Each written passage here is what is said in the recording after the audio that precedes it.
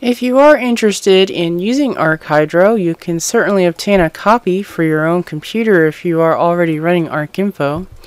ArcHydro is simply a plugin or an extra extension that you can run with ArcInfo, much like um, Spatial Analyst and 3D Analyst and all those other extensions that you can have in your ArcInfo. So again, ArcHydro doesn't automatically come with ArcGIS.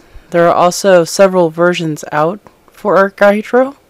For example, if you're running ArcGIS 10, there is going to be an ArcHydro version 2.0 for version 10, and there's going to be version 2.1, 2.2, maybe there's a 3.0 out now.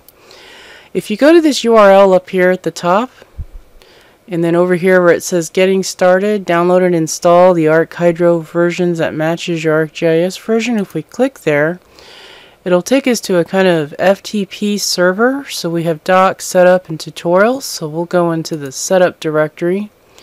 And you can see here that there is a version for 10.3. So this 10.3 doesn't necessarily refer to the ArcHydro version, but the version of ArcInfo that you are running. So I'm running ArcInfo 10.3.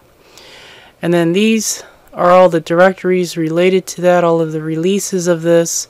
So we'll go to the latest number down here at the bottom and grab these sets of tools. Now the one that says X64 next to it, that one is going to be for 64-bit um, version of ArcGIS if you're running it and 10.3 is for the 32-bit version if you're running that. So make sure you download the correct corresponding ArcHydro version.